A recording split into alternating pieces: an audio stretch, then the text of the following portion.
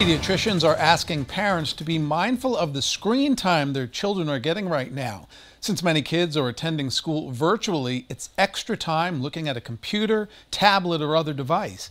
Doctors say it's not so much about tracking screen hours, it's making sure your kids are still getting enough sleep, exercising, and getting social interactions while they're on screen the types of interactions using screens that are closer to what it would be like in real life you know being able to have ongoing communication.